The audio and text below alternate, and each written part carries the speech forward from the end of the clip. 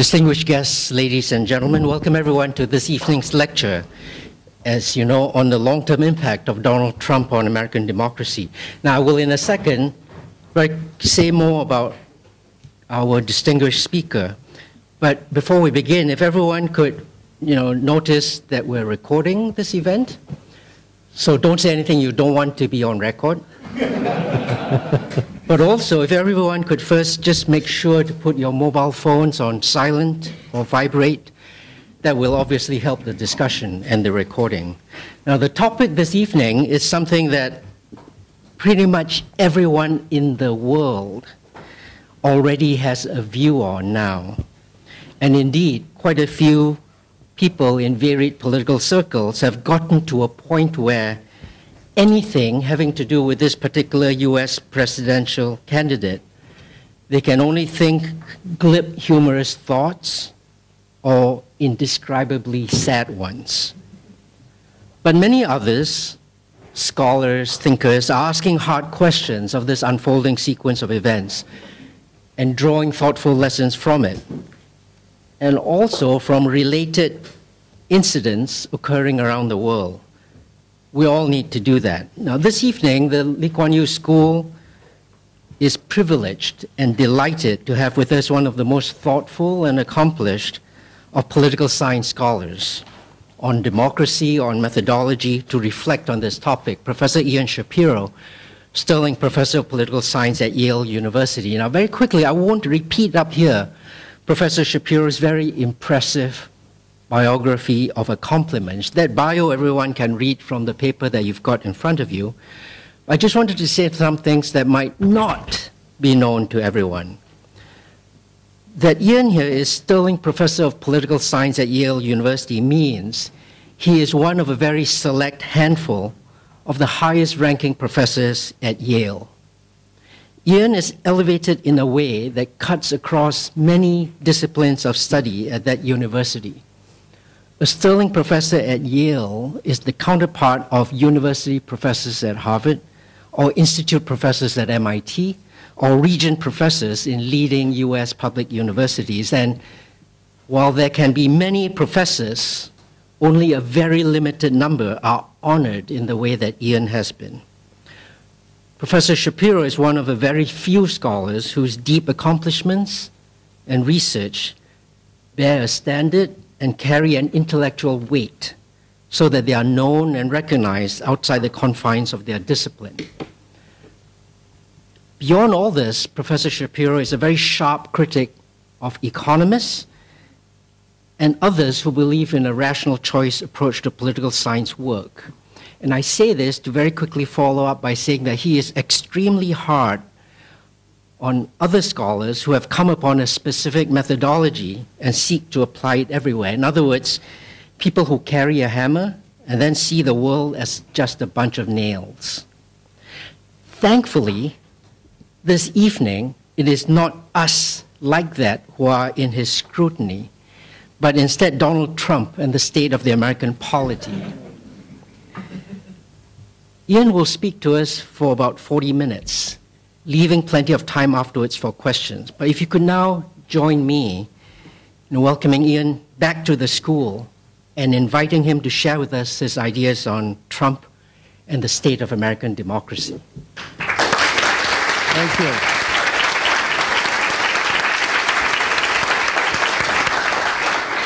Thank you um, very much. Thanks for inviting me. It's a pleasure to be here.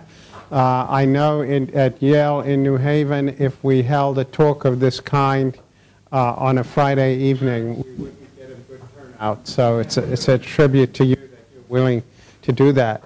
Um, so the um, Kishore asked me to talk about the long-term impact of Trump uh, on American politics, which is, you know, something of a moving target, trying to figure out uh, where, where, where things are going to end up. And so uh, I didn't want to engage in um, frivolous speculation, and also don't want to tell you about things you're reading in the newspaper every day, um, because it doesn't seem like a good use of, of any of our time.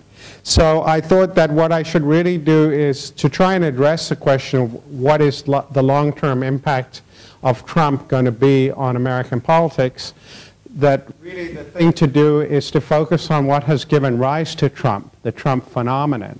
Um, and then think about whether the forces that have given rise to the Trump phenomenon, how they're going to play themselves out. So that's what I'm going to start with, and then I'm going to come back to the likely implications of this uh, and it give you my two cents worth of what I think they're going to be. Um, so if you think about what is it that gave rise to the Trump phenomenon, um, there are two classes of causes that people generally point to. The first is economic, and it's uh, the sort of um, hollowing out of the, of the white particularly white male electorate. And the second that's much less talked about has to do with party selection rules, rules for picking leaders of political parties.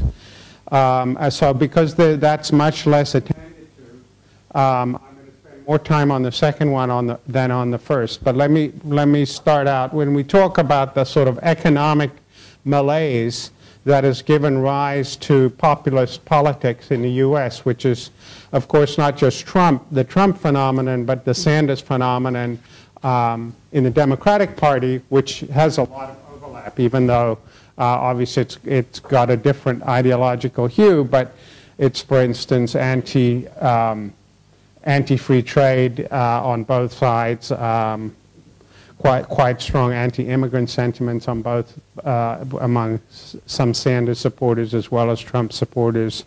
Um, people generally point to three things. Um, one is uh, technological innovation, which has um, made a lot of uh, occupations obsolete. Um, the second is um, trade, globalization, the, the shipping of jobs offshore. Um, and the third is the other factors that have produced the relentless growth of inequality, mostly associated with Piketty's work in recent times, the argument that returns to capital uh, outpace returns to other factors of production, which means the rich keep get richer at a faster clip than anybody else. And so you get more and more inequality at the top, which produces resentment uh, lower down. And this used to be mostly the, the technology and trade, be uh, mostly a blue-collar ph phenomenon, textile jobs, industrial jobs, and so on, going to first to Mexico, then to Malaysia, uh, Indonesia, uh, etc. But increasingly, it's also the hollowing out of the middle class, traditional occupations, um, um, and all everything associated with financial services. You know, 30, 35 years ago, when somebody wanted a mortgage, they would go down to the to the local bank and they would be interviewed by a manager who was a person of some status in the community um, and quite well paid and the bank manager would size them up and interview them and decide whether they were, were worthy of a mortgage and, and there was a, a relationship. Today, you know, they'll do it over the phone somebody earning $26,000 a year who's types their application into a software program, maybe in, uh, that's not even in the US. So that bank manager's job has gone. Uh, so it's not just, when we think about offshoring of employment, up well into the middle classes. So the conventional story is a combination of these three things, the, the elimination of jobs through technology, the offshoring of employment in, in, in larger and larger numbers, and then the other logics of capitalism that, that produce these, the super wealthy at the top, which breeds incredible resentment, have combined to create this, this angry class of people who um, are downwardly mobile, or, or if, their if their lifestyles and incomes have remained stagnant, it's only been, they've only achieved that from a single family to a two family. Um, so they essentially have two wages to produce what one wage produced before. And they are under, in, in great financial distress, and, and the symptoms of it are everywhere. A college education exceeds, the, the, the tuition for an elite education exceeds the median income in the country for, for a year. And so when they see the children of the, the investment bankers going off to elite schools that uh, they can't aspire to send their own kids to, it's not surprising that you get this virulent anger. And it's full of irrationalism, of course, that um, um, the people they want to kick out of the country are not actually the people who are taking their jobs. um, and all that, you know, but you, so we could spend a lot of time disaggregating the, the, the bits and pieces of what, what it is they believe, and, and it doesn't add up to any very coherent set of propositions, which is one reason why the, why the absence of a coherent set of proposals on the part of Trump doesn't bother them because uh, the, he's appealing more to kind of inchoate rage. So that, that's the, the economic story. The, the pop analyses are full of it. And one thing is for sure, if we say what the impact of Trump is going to be, that whether Trump wins or whether Trump loses, that phenomenon is not going away. Um, you know, and if, if Hillary Clinton is to win, uh, she's going to have to, if she doesn't address those uh, issues or, or, find some way to get those issues addressed in a, in a serious way, she will for sure be a one-term president. So uh, in that sense, the, the, you know, it won't be Trump then, it'll, but it'll be some other populist figure. And I'll have something to say about that a, a little later. So, but that, that's the sort of economic story. I'm sure it's not news to most people in this room and it's what you can read in the Financial Times or the Economist or the Wall Street Journal.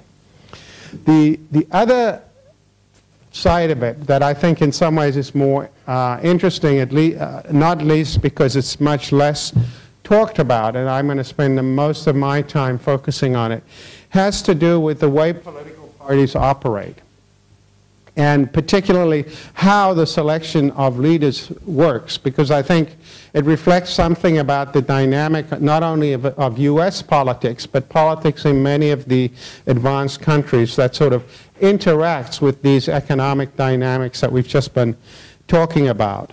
Um, so uh, what, I, what I have in mind here is um, comes under the broad heading of the the decentralization of control of political parties, um, motivated by the idea of what I'm going to suggest is a rather misguided idea of, of democratic participation.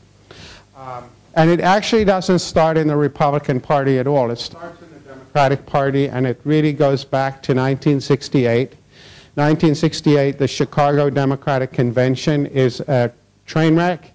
Um, the riots in the streets. This is when the students are, are, are rioting uh, about Viet, the Vietnam War. Uh, Lyndon Johnson, who had won in the landslide four years earlier, was so unpopular he couldn't even run for re-election. Hubert Humphrey was running against Nixon. Um, and there's, you know, there's blood in the streets in Chicago. And uh, it's, uh, it's a disaster for the Democrats. And there's a lot of hand-wringing about that and the question is what to do about it. And something gets created called the McGovern-Fraser Commission, um, run by, uh, I'm embarrassed to say, a political scientist, because I think it didn't come up with very good recommendations. But uh, it was run by a political scientist, even though it was called the McGovern-Fraser Commission, by Aust named Austin Ranney. And it came up with two important recommendations that were both highly consequential. Uh, but the, the, basic diagnosis was, you know, the, the complaint of the rioting students was this party is run in smoke-filled rooms uh, behind the scenes, and there's no there's no participation in the cho choosing of who's going to be who's going to be our leaders, and it's got to change. And the two the two recommendations of the McGovern Commission. One was the beginning of the introduction of quotas. This is the early days of multiculturalism. Make sure the representation of women, minorities, and so on is much increased in the selection processes of uh, the party. Uh, but the other one, which I think matters much more what we're talking about today, was that they, wa- they wanted to get rid of the, the, the secret decisions in the smoke-filled rooms, and they wanted the introduction of primaries. Now, there had been primaries quite widely used in the progressive era, but they had pretty much died out in uh, the U.S.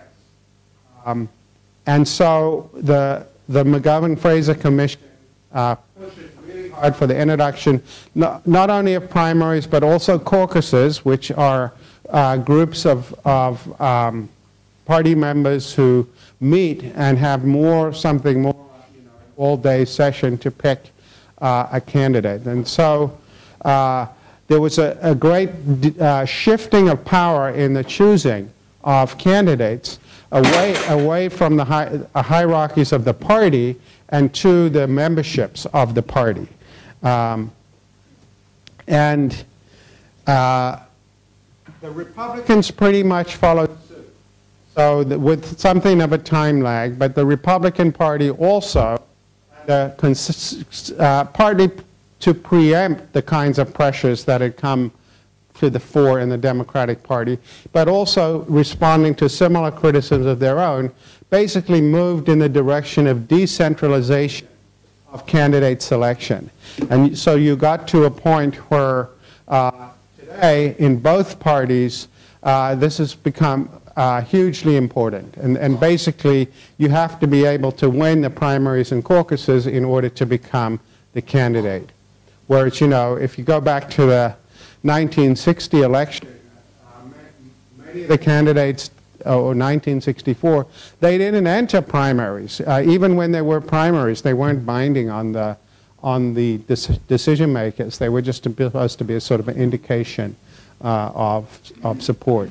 Uh, Lyndon Johnson uh, didn't participate in any of the primaries in the 1960 when he was thinking about running, uh, and nobody thought that was fatal to his chances, although he ended up running and Kennedy did instead.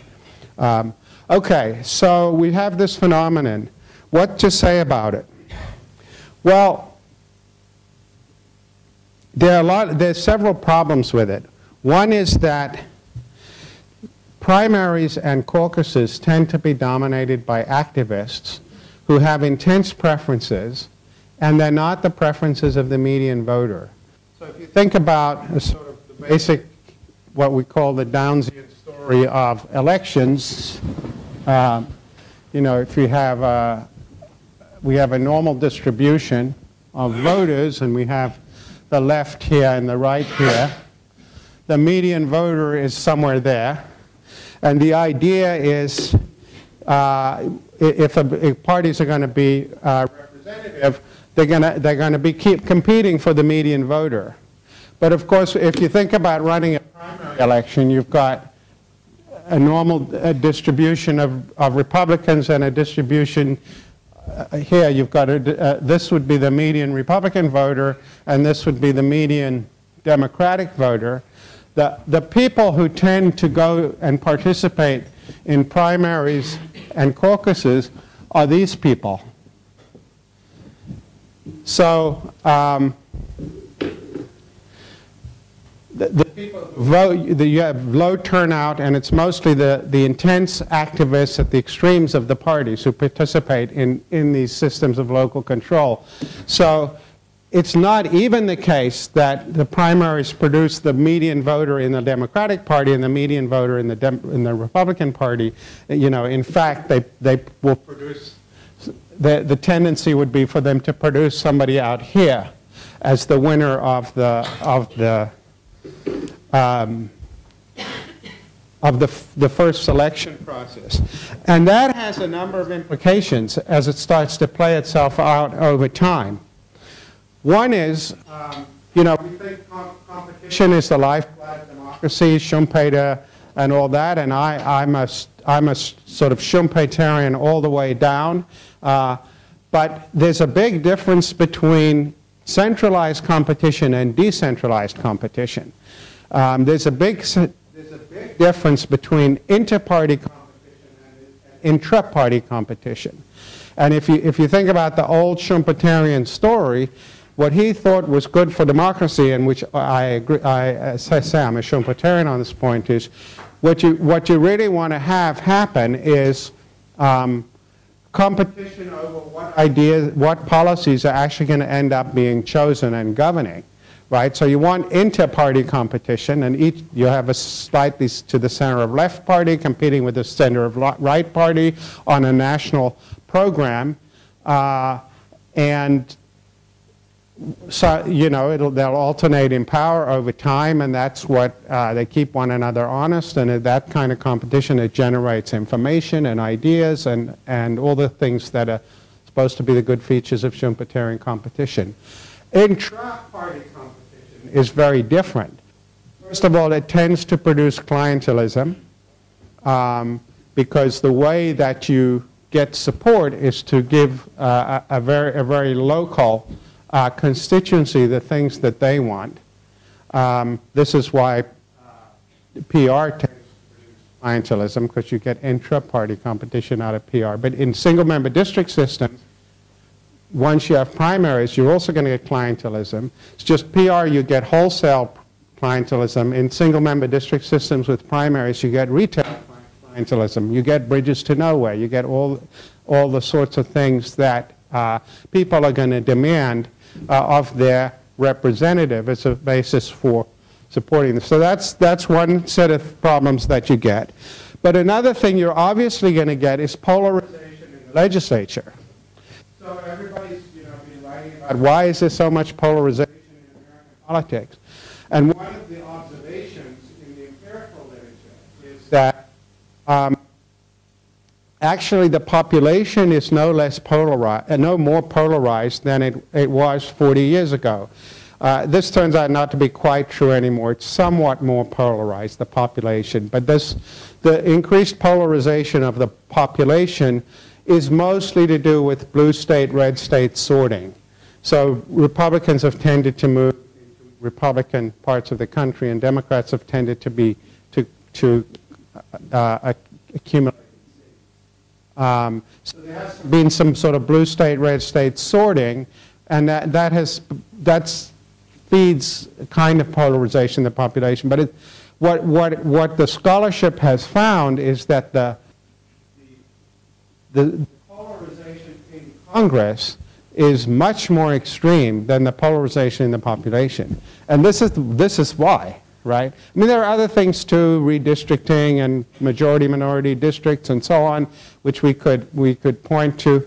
But this is a big part of the story because well, if, if you have to win a primary in order to get a, a, a elected in, into Congress, and the only way you can win a, primary is to come out here, you, it means, uh, you know, uh, that you have to to uh, somebody pretty far out on the extreme of your party uh, in order to get elected. And so what's happened as the decentralization of control of parties has accelerated, you've got this polarization of Congress, which shows up in all the literature. Um, uh, and Rosenthal, people have uh, um, Morris Fiorina, they've all found that this polarization of in the legislature doesn't reflect the polarization of the population. And I, I think my own judgment uh, is that this is a big part of the story. So you get um, more clientelism, you get polarization in the legislature, and the third thing you get, which I think has fed the Trump phenomenon and the Sanders phenomenon, is that the, the people who do get elected lose legitimacy with the people who, the people who elect them. They're perceived to be frauds and sellouts because in order to win the primaries, they have to go out, they have to go out here. But of course, then come the general election, they, they're trying to win the median voter, so they have to pivot. So they change their positions, they get accused of flip-flopping. Uh, when they get into government, they often cannot deliver uh, what they said they're running on. and so they're perceived as having sold out and as frauds and as opportunists. Uh, but the system forces them to be that way. And so if you look at all the measures of loss of, of uh, you know, people often say, um, why is there, um, you have the phenom phenomenon that everybody hates Congress, they hate politicians except for their own politician. But this is part of the story. Why? Because they, they, they, um, they find that the politicians are not uh, doing what they, they claim that they were going to do. So they, got, they lose legitimacy because they can't govern. The U.S. system, for better or for worse, I think for, for worse, mainly depends on a certain amount of cooperation across, across the aisle because it's got all these checks and balances right? So there are a lot of veto players in the system. And if you, if you can't get cooperation because the politicians are so terrified that if they cooperate, they're going to be killed in a primary in, in, the, next, in the next election cycle, they will go for gridlock because it's the only way that they, they can get reelected. Um, and, and so you get a lot of the phenomena that people are complaining about, all as a byproduct in significant part of this, I think, very misguided idea of direct control of candidate selection to the parties. Um, now, that's, it's, I think it's particularly egregious in the U.S., but it, it's worth taking a minute to notice that it's not special to the U.S. If you look across the Atlantic to the U.K., some very analogous things have gone on. Uh, this starts in the Labour Party. Um, the, the decades and a half in the wilderness when Thatcher was in charge and, and John Major after her um, produced um, a reform of the system to, to initially to bring much more centralized control by uh, John Smith and, and Neil Kinnock. This was so-called New Labour, and eventually Tony Blair, who takes it over, uh, and uh, uses centralized control uh, to, to create a much more top-down Labour Party, which Gordon Brown, uh, some extent, is the beneficiary of as well. But after, they, after that, the New Labour story is over and they lose the elections, Ed Miliband comes in. He pushes hard for, it's not primaries, but it's a system of direct election of Labour Party leaders um, that has the same effect ha as having primaries but direct elections by the membership. It's a more complicated and nuanced story because part of it was, was sold as actually sort of power of unions in, in the selection of Democratic of candidates, at which it wasn't very effective. But the, but the idea was to have the membership, again, idea of direct democracy, the members must choose their representatives themselves. This is what democracy is all about. And of course, the question is who is a member? And anybody can pay three pounds to become a member of the Labour Party. So well, who can mobilize people to join? And to everybody's astonishment, uh, you, have got Jeremy Corbyn uh, elected as the, the leader of the Labour Party. Um, and you, you've got now going on in, in the Labour Party the, the same kind of train wreck as is going on in the Republican Party in the U.S., where you know, the Parliamentary Labour Party passed a vote of no confidence in Jeremy Corbyn by 172 to 40, forced a leadership contest, um, which, which Corbyn is going to win. Um, and, you know, so it's exactly analogous to the situation between the Republican Party leadership and Trump in the Republican Party in the U.S. Um, and obviously that, that is not a way, that, that is just when this, that pushes this logic to the point of collapse.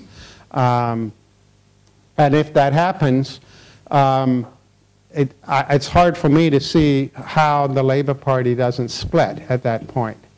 Um, so the Tories have a milder version of it. There was, there used to be informal selection terms of the leader of the Conservative Party. A lot of pressure to democratize that. And eventually they started having parliamentary select, the parliamentary party vote for the, the leadership. Uh, there was pressure to democratize that further. And then so they created their current system, which is the parliamentary party votes until they get it down to two candidates, and then it's sent out to the membership uh, for a vote. Now, as it turned out, they, they managed to dodge because um, uh, Michael Gove and, and Boris uh, Johnson uh, engaged in, a, in a, a, curious kind of mutual suicide pact. But, you know, if the system had operated as it was, is, was designed to operate, Johnson would have gone up against uh, May uh, and the membership would have picked Johnson because the membership are, you know, the membership are out here uh, in the Downs and Storey. So we, we and they, you know, I think the Tories are probably better off with May, who's a lot closer to the median voter in the British polity uh, than Boris Johnson would have been. So they dodged a bullet in, in that sense, but I think for idiosyncratic reasons. Um, in the U.S., come back to the U.S., the Democrats, um, under, they, you know, they saw the bad side of this, this phenomenon very early on because the McGovern-Fraser Commission pushed this decentralization of selection onto them. And what happened? Well, what happened was they got McGovern. And, you know, McGovern was completely wiped out because he was way out here, and it was child's play for Nixon uh, you know, to, to come over here in the general election. And um, basically, I think what did McGovern, I don't think he even won his home state. Uh, maybe he won one or two states. Um, and so the, the, the Democrats have, uh, they started to realize this system was, wasn't working. Uh, and by the way, nor did the introduction of quotas because the, the, the problem with overrepresenting women and minority groups is that you underrepresent white males, uh, but if they're the, a big chunk of the electorate, uh, it doesn't help you. So they, they sort of aided and abetted Nixon's Southern strategy of pulling uh, white, the white working class electorate away from Democratic Party, but that's a, sort of separate topic. But so the antidote to this for the Democrats was the introduction of the system of superdelegates. Uh, and the, the notion of superdelegates is um, that these are people that are essentially going to represent uh, the interests of the par party hierarchy and prevent the emergence of a system in, uh, of what, what the Labour Party is dealing with right now in the UK, where the parliamentary party is at odds with the um, membership, what the Republicans are right now, with the the leadership in Congress is at odds with the grassroots of the Republican Party, or the grassroots of the Republican Party that express themselves through the process anyway. Um, and so they have um, about 15% of the delegates are these super delegates, 712 out of 4,051 um, are these super delegates who are um, not bound to, to vote uh, as the primaries and caucuses dictate. You may think 15% isn't that much, but, it, but it's a lot because they create momentum and inertia. They create momentum and then inertia for the momentum that they've created because they pledge themselves early. Um, and, and to overcome that, you have to have real counter momentum. So they, and I mean, you know, Obama developed real counter momentum in 2008 and finally managed to pull them away from Hillary Clinton. Um, and, but, it, but it was a very steep hill to climb. And, and, most people were very surprised that he was able to do it. it was, he's an unusually effective and charismatic politician, which he is not. Um, but this time around, uh, it worked, uh, basically. Uh, but for the superdelegates, uh, probably Hillary would have ended up using Sanders. Um, I mean, obviously it's a counterfactual we, we don't really know, but um, he came on as a unex- completely unexpected insurgent in the same way that Corbyn did in the Labour Party. Um, and she wasn't ready for it. And the, the superdelegates created this huge buffer, and it was why Sanders was yelling and screaming all the way through. Um, little known fact is that um, Sanders, you know, Hillary has, to, has because of, because the the uh, because she's not in a particularly strong position and she's got a, a, such high negatives and so on, she really needs these Sanders voters. Uh, Trump, it, eh, one of Trump's one-liners is that by agreeing to support Hillary, Sanders has made a deal with the devil. He's now he's calling Hillary the devil. But actually, the real deal with the devil is the other way around, because what, that what's much less well known is that in order to get Sanders' support, uh, Hillary has to agree that next time they, ma they make the rules for the next election um, now, and they've set up a commission, but they've, they've decided already what the commission is going to find. They are going to, they are going to bind two-thirds of the superdelegates. In effect, to defang the superdelegates of this power. He wanted to get rid of the superdelegates, but so he got, a, you know, he got two-thirds of what he wanted. Um, so in effect, this is going to make a big difference because it's going to mean that the next Bernie Sanders is going to have a much easier time in the Democratic Party. Um, the, you know, it, it won't matter to Hillary probably because uh, if she's a successful incumbent, she'll be able to withstand it. And if she's not a successful incumbent at the age of 72, she probably won't run. Uh, so um, it's neither here nor there from her point of view, but it's setting up the Democrats for exactly the, same, the kind of problem that Republicans have right now. Because if the Republicans had super delegates like the Democrats have, um, they, wouldn't be, they wouldn't be stuck with Trump. Right? So um, now the, the Republicans do have super delegates, um, but they only have a few, about 7%. They, they have 168 super delegates out of 2,472. And as part of this pressure democratize the Republican Party, the same pressure, the same idea of direct democracy, actually, this year, even the Republican superdelegates uh, have been um, bound. So actually, the superdelegates are not superdelegates at all because they had to vote uh, to reflect what was agreed the, in the primaries and caucuses, at least on the first round, if it had come to that. So in effect, they don't have any super delegates at all in the Republican Party.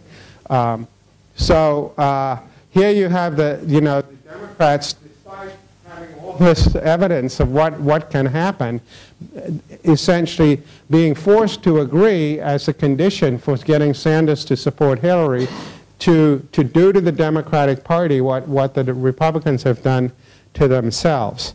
Um, so that's, that's the real, um, I think that's the real deal that the devil that has been done, not the one that uh, Trump has been talking about.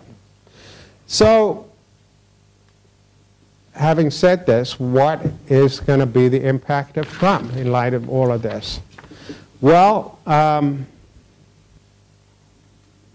it's hard, it's hard to, to say anything definitive if Trump wins, which I think is unlikely, um, given the demographics and given his propensities for own goals, which seems to be about three times her propensity for own goals, um, and so on. Um, if he wins, all bets are off. I think it seems inconceivable that it wouldn't split the Republican Party in some way, shape, or form. So we might be looking at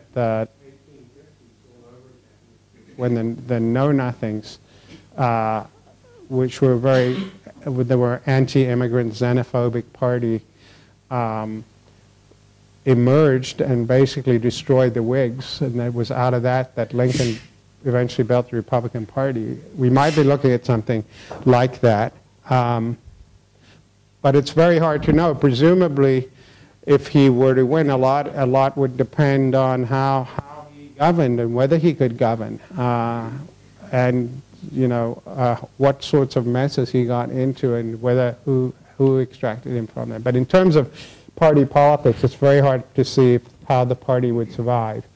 Assuming he loses, which, as I say, is, I think, more likely, it still might split the party um, because uh, I think there will be uh, very big and powerful group of the Republican establishment who's going to want to change the rules and get rid of this uh, and, and create something just, you know, just as the Democrats are getting rid of the superdelegates, the Republicans are going to create them.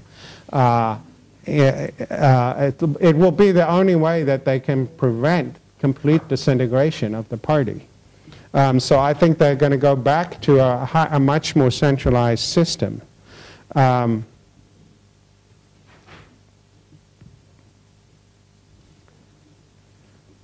what, what can we conclude then from all of this? Um, well, one, one, one observation is that reformers are always fighting the last war. Um, that, you know, uh, and, and, it's in some ways rather depressing that they're always for, fight, fighting the last war. But, but there it is. That's in the nature of politics. But I think the, you know, the, the other conclusion I would, uh, what I would uh, emphasize is we, we should try and get beyond just fighting the last war and think about what's a good idea. And um, decentralized, decentralized selection of candidates for, party, for political office is really a bad idea. It's a very, it's a deeply misguided conception of democracy. Um, it's, it, it's misguided for a number of reasons. One is that uh, as what, what makes democracy work is inter-party competition, and for the reasons I've already talked about, intra-competition is not good. Uh, but this is all about intra-party competition trumping to mix, uh, to, to, not the right term in, the, in this context perhaps, but intra-party competition is trumping and overshadowing inter-party competition. Uh, and, and it means that, you know, the more you have this system, the only, since the vast majority of seats in, in the U.S. system are safe seats, it means that the only meaningful competition you have is the primary competition or the caucus competition. And then it's all over. Uh, so like in Connecticut, the Democrats win everything all, where I come from. The Democrats win everything all the time. The only thing that matters is the primaries. Uh, so it's only intra-party competition. Um, that produces all the governance problems I've already talked about. Um, it produces clientelism. Um, and it produces leaderships that can't focus on what you would think the leadership of a political party should focus on, which is the long-term interests of the party, um, because they, they are so hobbled um, by the fact that, you know, even Paul Ryan now, the Speaker of the House, is facing a primary challenge in Wisconsin with Trump supporting his challenger. Um, you know, and so you, you have the, the, the, poss the possibility that Paul Ryan or anybody can pursue what would be a sensible strategy for the Republican Party becomes impossible uh, to deliver on. And so, uh, just one final is that, that you really have to think about what is a political party? Because the Schumpeterian story sort of models the polity on the economy, and so the you know parties are the analogs of firms, and voters are the analogs of consumers, and votes are the analogs of profits. And policies are the analogs of goods and services, and democratic accountability is sort of an analog of consumer sovereignty. And that all works up to a point. Uh, but like all analogies, eventually it starts to break down because the, the point at which it breaks down is that there is no analog of shareholders for political parties. Um, and the idea that it's the membership uh, produces all these this patho- pathological uh, outcomes that we're talking about because um, you don't have to pay any real cost um, a member. You pay three pounds and you can determine the outcome. Uh, so it's a very um, awkward analogy. And so the, the political parties are not like firms at the end of the day in that there's no residual claimant. The, I, I, the only other institution that is like that, that I've, I've been able to think of, is actually private elite university in the U.S. It's that if, if we took all of Yale's assets and sold them, it's not clear who would be entitled to the residual claim, right? There are no shareholders. And so, so, you know, one of the things you see in universities is that everybody, eh, all the different interest or patron groups of universities think that they are the ones who should be the uh, custodians of the future. The students think it should be them, the faculty think it should be them, the administrators think it should be them, because there isn't an equivalent. The, the, the corporation thinks there isn't an equivalent of shareholders. And I think exactly the same thing is true of political parties, that um, there's no equivalent of shareholders. Uh, and, uh, and so you get this kind of constant battling and wrestling for who are the real custodians of the long-term interests the. And all, every different, all these different groups, will, you know, the, the leadership think it's them, the, the uh, membership thinks it's them, uh, and various other groups that try and influence political parties think it should be them. Um, but in the long run, I think you have to ask yourself the question, what do we want political parties to do? Uh, in order to answer that question, as to where you should put the power to select candidates. And the answer to that is, I think Schumpeter was basically right. What we want political parties to do is to compete over public philosophies, um, not engage in clientelism, uh, and not engage in uh, forms of competition that are going to be antithetical to um, uh, presenting voters uh, with a competition over governing philosophy. So for those reasons, uh, I think that the, the answer lies in uh, setting up systems of cent more centralized control that are going to force parties and party leaderships to compete for the median voter in the polity. So why don't I stop there and you can all tell me why I'm wrong.